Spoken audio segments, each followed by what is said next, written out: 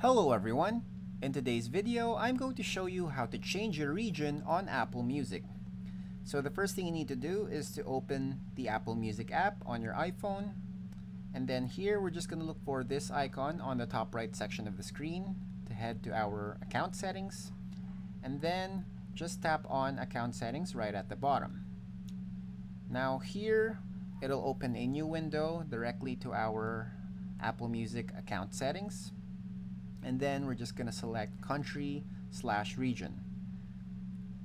Now here we'll be able to see an option to change our country or region but do take note that after selecting our preferred country or region uh, Apple is gonna ask for a valid payment method and a valid billing address before we can change the region so after selecting your region you're gonna agree to some terms and then you're gonna fill in the details for your valid payment method and valid billing address.